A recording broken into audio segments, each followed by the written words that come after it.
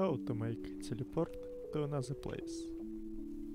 Create a new place, then create a part that will be your teleport. Remember, you can test your teleport only in game, not in studio. Turn on Anchored and turn off Can Collide. Then set transparency on your taste and add a local script to your part. Paste script from the description or pinned comment. Copy ID from your place and paste it in script. Then publish game to Roblox.